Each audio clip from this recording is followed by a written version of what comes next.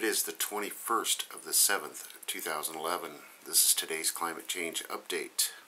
I'm going to start with uh, Sott.net tonight. A lengthy, blistering heat wave is blanketing the eastern half of the United States and putting significant stress on nation's power grid as homeowners and businesses crank up their air conditioners. Uh, here in Des Moines, I can contest my my house uh, was experienced a brownout for about an hour, an hour and a half today. Uh, we couldn't get the refrigerator or the air conditioner to work. Uh, I've got the Energy Saver light bulbs, so they worked on dim, and I can barely get a fan to blow on low.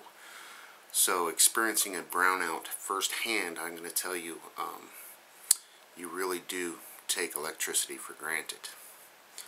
Utilities say they're ready for high power demand and widespread electricity shortages or outages are unlikely. Lines and equipment are not fully taxed and there is more generating and transmission capacity available usual than because of the weak economy. Also, a, a, not many major storms are forecast, meaning fewer down power lines. And of course, the, the heat wave began a week ago. Feels like way longer than that. Uh, they're predicting 90 to 100 degree weather from Chicago to Boston from Wednesday through the weekend. The Midwest is expected to see peak heat on Thursday, while thermometers in eastern states will top out on Friday and Saturday. Uh, they're saying Philadelphia may break a 1957 record of 100 degrees on Friday, while Washington, D.C. is expected to reach 103, tying a record from 1926.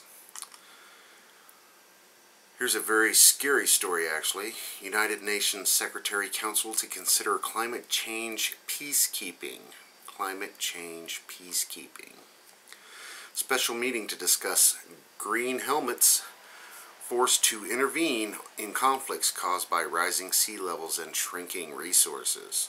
A special meeting of the United Nations Security Council is due to consider whether to expand its mission to keep the peace in an area in an era of climate change.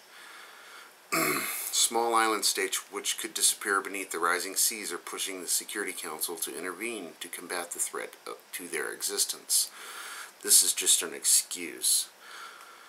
Uh, there has been talk, meanwhile, of a new environmental peacekeeping force, green helmets, which could step into conflicts caused by shrinking resources.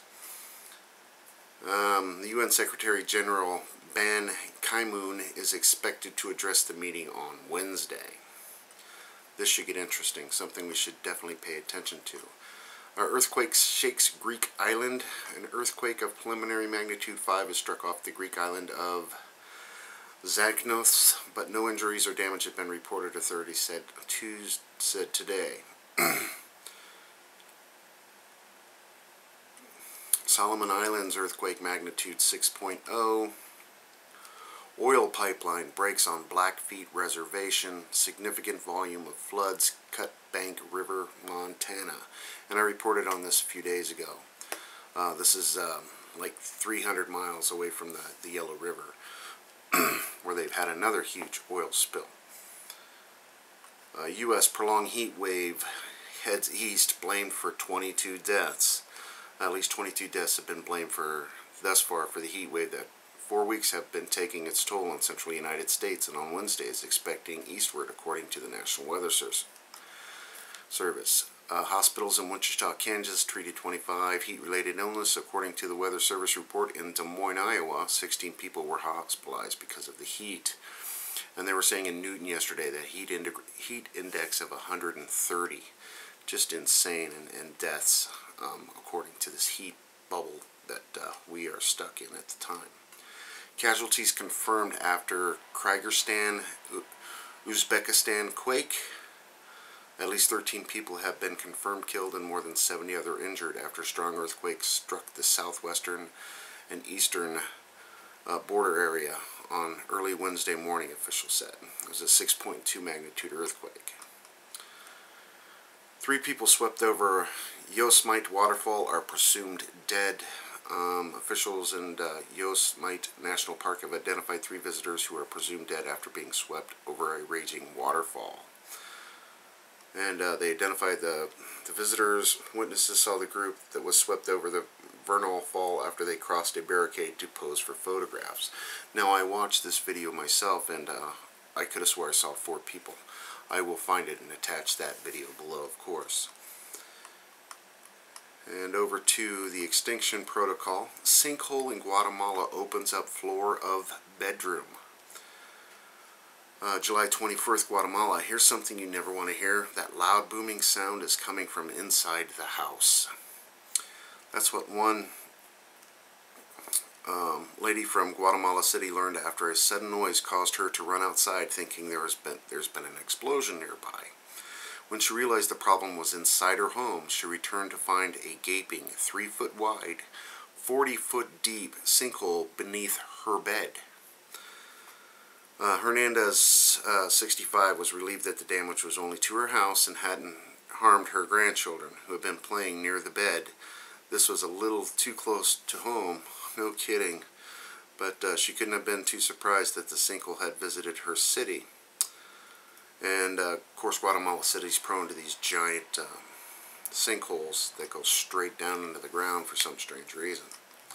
It's not like a normal Florida sinkhole where you see like that. It's just like literally a tube falling through the floor.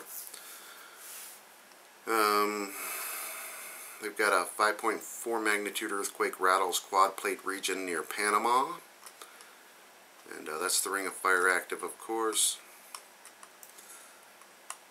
Got a crazy uh, fear piece about uh, history's lost lesson, ancient nuclear war among Indus Valley civilization re-examined. Now this is in India uh, where they're saying they're having a nuclear fallout from up to 12,000 years ago. Uh, they built a complex and, uh, you know, uh, birth defects and cancer rates went through the roof and they've quarantined this area. So they're relooking at the whole um, situation.